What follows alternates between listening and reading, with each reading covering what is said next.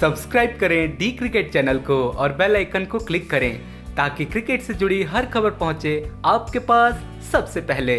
भारत और न्यूजीलैंड के बीच टॉस के दौरान एक ऐसा नज़ारा देखने को मिला जिसे सभी हैरान रह गए। टीम इंडिया के कप्तान विराट कोहली टॉस के बाद प्लेइंग इलेवन ही भूल गए। जी हाँ भारत और न्यूजीलैंड के बीच पाँच टी सीरीज़ का पहला मुकाबला आज ऑकलैंड में खेला जा रहा है, जहाँ टीम इंडिया ने टॉस जीतकर पहले गेंदबाजी करने का फैसला किया।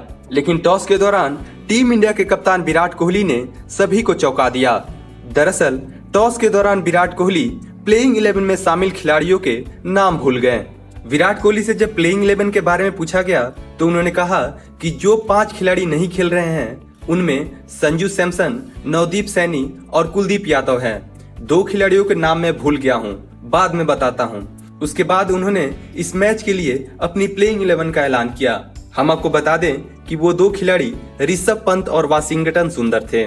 तो अगर आपको हमारा यह वीडियो पसंद आया तो कृपया इस वीडियो को लाइक करें, शेयर करें और अपनी राय कमेंट बॉक्स में लिखें। और हाँ डी क्रिकेट को सब्सक्राइब करना ना भूलें। धन्यवाद।